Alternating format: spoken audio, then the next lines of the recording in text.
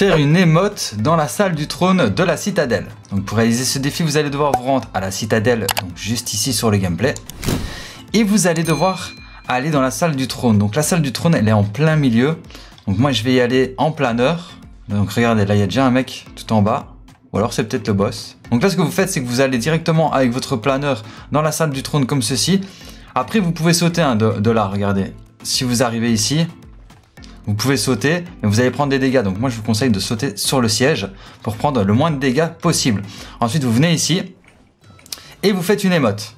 Donc attendez, je vais faire une émote. Bam. Donc mettez-vous bien dans la salle du trône et faites une émote pour terminer le défi et débloquer les récompenses.